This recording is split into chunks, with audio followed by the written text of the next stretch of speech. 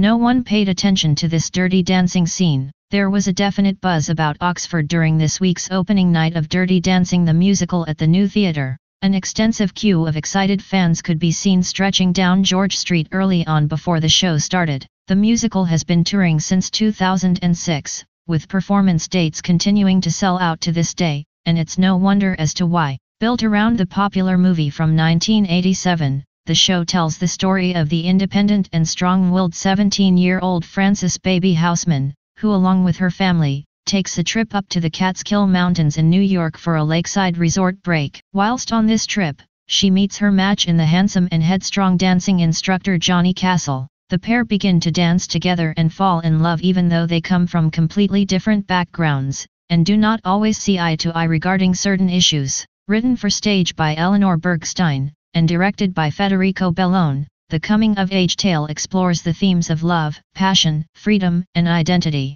There is a real dichotomy between passion and reserve, and the juxtaposition of the squeaky clean, family fun world of the resort, and the dirtier, more sexually liberated underbelly that runs parallel. There are also many references to the civil rights movement that was going on in America at the time and mentions of the freedom marches that took place in the year of 63. The idea of individuality and the importance of the freedom to be oneself permeates the narrative. So, let's discuss some of the cast members in more detail. All the performers were fantastic but alas, I do not possess the word count to list them all. Kira Malou took on the role of Baby, playing opposite Michael O'Reilly as Johnny Castle. The pair had great on-stage chemistry as the two protagonists. They danced beautifully together and drew audience members into the dramatic narrative. Their intimate scenes had audience members fanning themselves and cheering like wild animals. Baby's family, Taryn Sutting as Marjorie, Jack Loy as Dr. Jake, and Daisy Steer as Lisa,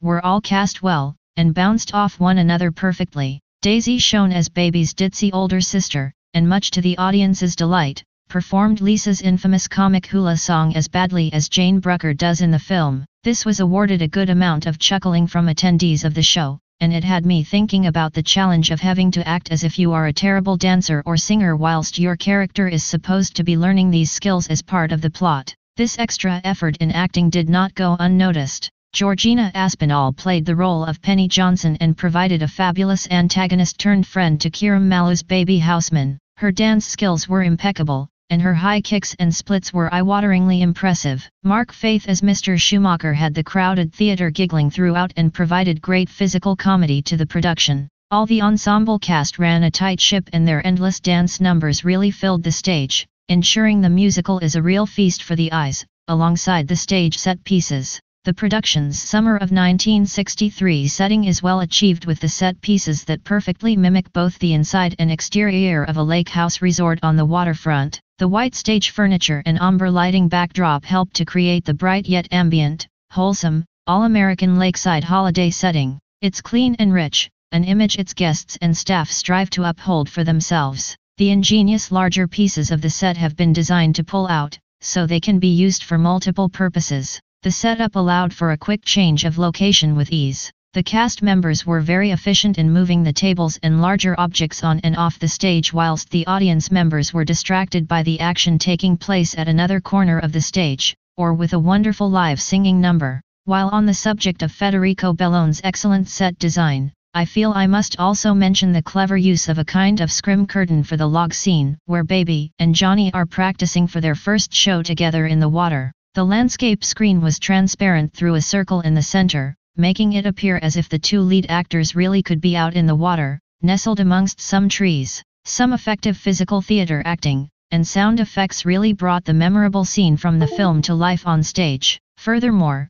the costumes from Jennifer Irwin were beautiful and really helped create a sense of the 60s period setting. There were a mix of longer, expensive-looking dresses worn by the rich female guests attending the lake resort, and tees and short shorts for the resort workers who preferred to practice their raunchy moves in the staff quarters after dark. Additionally, a real likeness to the film was achieved through the costumes designed for Baby and Johnny. I mean what would the show be without Baby's iconic pink dress? As this is a show all about dancing, it is no wonder that Austin Wilkes' choreography for the musical is on a complete other level. The ballroom mambo scenes during the dance classes are beautifully and professionally executed, and the dirtier, sexier choreography that got fans of the film hot under the collar is also replicated deliciously throughout. The musical's soundtrack sticks closely to the film, including the favorites such as Do You Love Me, You Don't Own Me, Cry to Me, These Arms of Mine, Hey, Baby and more. There are some live numbers from the performers in Kellerman's band,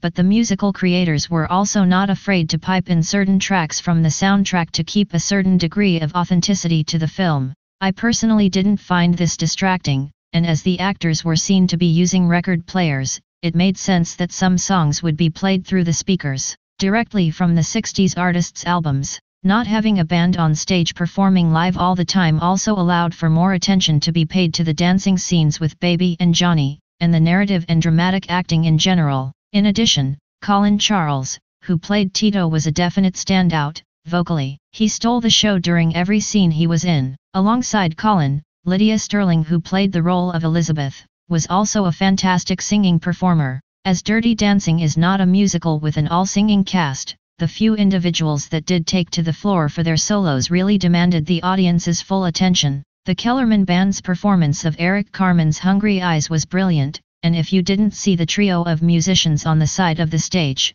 you wouldn't know it wasn't a recording playing whilst Baby and Johnny were dancing close with one another in the center. Throughout the show, the band provided brilliant live backing music for the dancing scenes and for the singing cast members for their solo performances. Moreover, the atmosphere in the theater was electric throughout the musical, and each memorable movie reference collected a vast number of whoops and cheers from fans. As most people are aware, the film ends with the iconic final dance number 2, I've Had, The Time of My Life which involves the even more iconic Dirty Dancing lift. The famous final scene was reenacted perfectly and was a real showstopper, it was magic. The lift garnered an enormous reaction from the audience and by the end of the number, everyone was on their feet clapping and cheering. The cast received a well-deserved, full, standing ovation for their opening night, and I am sure they will have audiences on their feet each night across the rest of their show nights this week. I would highly recommend booking yourself a ticket and having the time of your life seeing this feel-good, romantic, masterpiece while you still can. Tickets for the remaining dates at Oxford's new theatre can be found online at https www.atgtickets.com shows dirty dancing new theatre oxford.